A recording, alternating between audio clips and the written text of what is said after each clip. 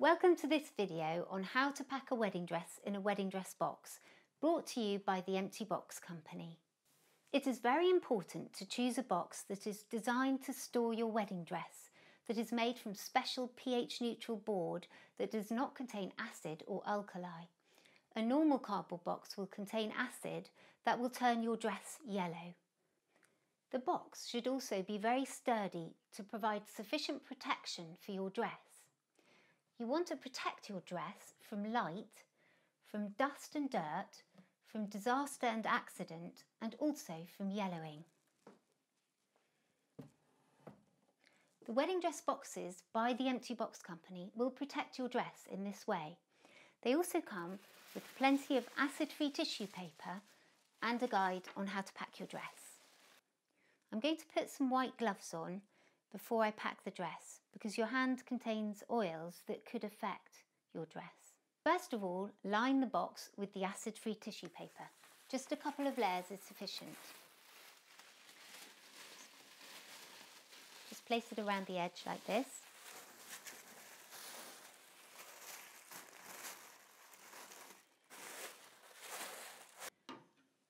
It's important that you've had your dress cleaned because there may be marks or stains on the dress, even if you can't see them at the moment, that will appear later on.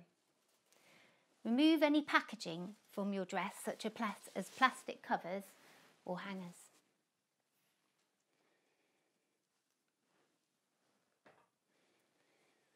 If your dress has a train, lie it face upwards. You're going to put the train in first.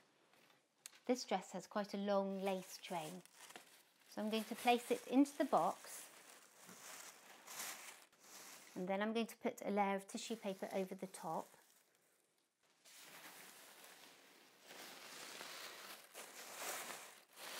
And fold the sides in over the tissue and I'm going to separate each layer with more tissue. Next you need to put some layers of tissue paper into your skirt. If it's got lots of layers and petticoats, try to put some tissue paper in between the layers.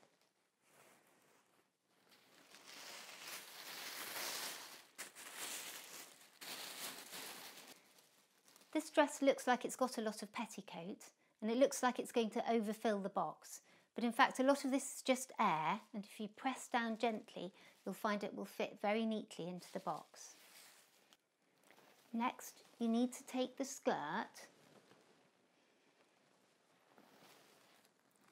and fold it inwards where it's bulky.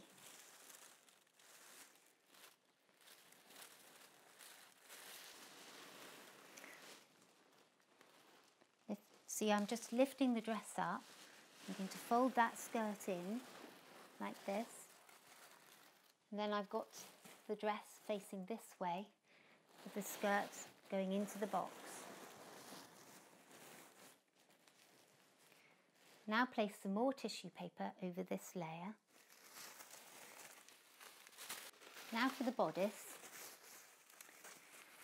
You want to put some layers of tissue paper into the dress. If there are areas that need volume, scrunch up some tissue paper and put that in.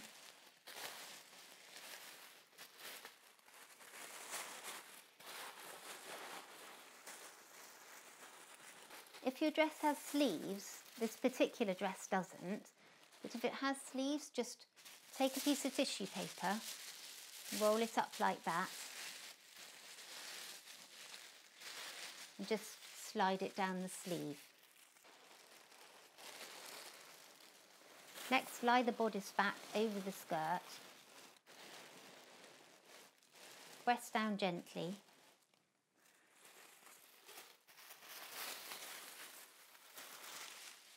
Put some tissue over the top. Now, if you've got a very full dress and you find it's lying higher than the box, just press it down very gently. As you can see with this dress, it's not even filled the box now.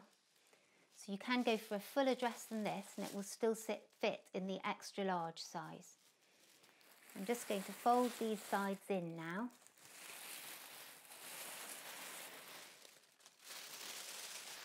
Just pull out the lace trim. And keep your guide on how to pack your dress in case you need to pack it again. Place the lid on the box. Now don't put this box in the attic.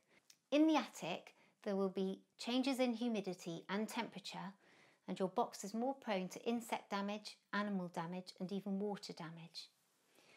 Because this is such a beautiful box, you can keep it in a spare room, have it as a romantic feature, or you can place it in the wardrobe or under a bed. Check your box from time to time. Take your dress out. Wear it again on your anniversary. It's important to take your dress and repack it every now and then so that the creases don't become too permanent. If you like this video, please give it a thumbs up on YouTube and if you'd like to see any more videos by the Empty Box Company, please subscribe to our YouTube channel. We've been making wedding dress boxes since 1988. If you do have any queries about keeping a wedding dress or packing a wedding dress, then please leave your questions in the comments box below.